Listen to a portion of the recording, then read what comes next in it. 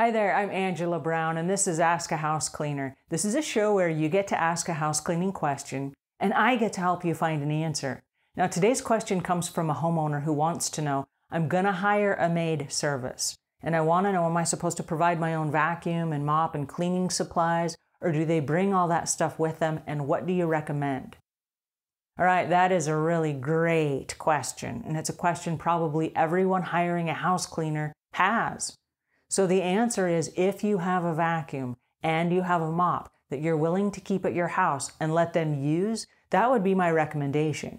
Because if your house cleaner just came from another house five minutes ago and they're coming directly to your house, if that last house had dog hair and cat hair and all kinds of dirt and debris, even if they're rolling that vacuum around, it's picking up dust and germs that now they're bringing inside your house, even if they emptied that vacuum between that house and this house.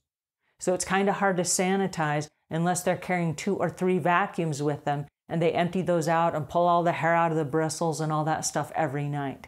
So if you have your own vacuum and you're willing to let your house cleaning person use it, that would be a great idea. You might even ask them, is there a particular type of a vacuum that you think I should have? Because if you have an old 15 year old vacuum, that's not going to be happy for anybody to use. Nobody wants to use that old heavy, clunky vacuum.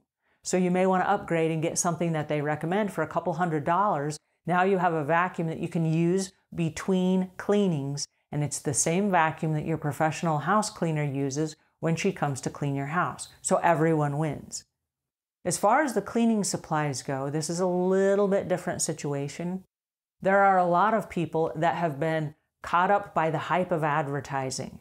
And so as you watch these commercials on TV, you see how amazing some of these cleaning chemicals work that are available on your grocery store shelves.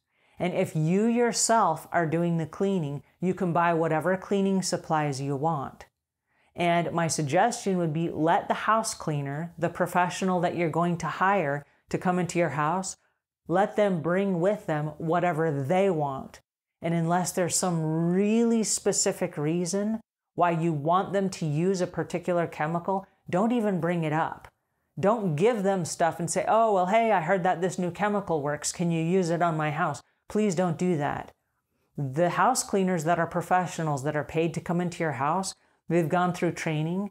They spend all day, every day, cleaning granite and wood and travertine and onyx and brass and copper and ceramic tile and fiberglass and plastic and wood and wicker and a whole bunch of different surfaces. They know exactly what chemicals they're going to be able to use on your different surfaces in your house. And so when you come up and you say, oh, well, I, I found this thing because of an advertisement on TV, you're throwing them a monkey wrench where now they have a new chemical that they don't normally use and they have no idea how it's going to respond on whatever it is they're supposed to use it on. And so, if for some reason they use it improperly because they're not trained in that particular new chemical, they could damage the furniture or the flooring or whatever it is that they're using. And then now somebody has to pay for that repair. So, my suggestion is stay away, stay away from recommending detergents and solutions if you're not a professional and you have not been through the training. And a lot of people will say, well, you know, so and so is not using a, a, green, environmentally friendly product. So I would like them to only use non toxic products in my home. The truth of the matter is this for the most part, for the most part, most professional house cleaners use non toxic, environmentally friendly green cleaning products. Here's the reason why they're around chemicals all day every day, day in, day out, month in, month out, year in, year out. And they're not going to use chemicals that make their eyes water and make them sneeze and give them allergies and make them pass out. They're not going to do that. Most of them have switched to environmentally friendly, green cleaning type products. The exception to that rule might be if you have a really, really nasty shower that has all kinds of gunk and film and bacteria and gunk that's in it, they might have to use something really toxic to clear that out. And then once they clear that out, they can go back to the non toxic stuff. But if you have a really toxic environment, they might have to use something really toxic to try to counterbalance that and to try to clean all the gunk out. But for the most part, for regular maintenance cleaning, they're going to be using environmentally friendly stuff.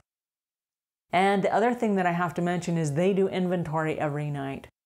Every night they're going to restock all of their supplies. Unlike you, the homeowner, who might say, well, there's this much left in a bottle. Surely that's enough to clean my whole house. Surely it is not. And if your professional house cleaner comes to your house using your cleaning supplies and they get there and they're out of supplies, they're not going to be able to do their job properly. And they are not going to be happy and you are not going to be happy. So don't put yourself in that situation. They might charge you an extra $5 per cleaning or something for cleaning supplies. Take the deal. Take it. It's a heck of a deal. If you've tried to buy cleaning supplies recently at the grocery store, they're super expensive. Even the little Swiffer dusters and the little wipes that they use and the cleaning chemicals for the toilets and the tubs, and it's expensive. If somebody's willing to add that into the price of your cleaning, take the deal. Don't worry about it. Don't shop for that stuff. Let your house cleaner bring a full load of supplies every time they come. They know exactly what they need and they have exactly what they need and they have enough of it. And then when they leave, they did their job perfectly. They're happy, you're happy, everyone wins. So, do you provide your own supplies? Please don't. Please don't. No one wins when you do that. All right, well, that's my tip for today. And until we meet again, leave the world a cleaner place than when you found it.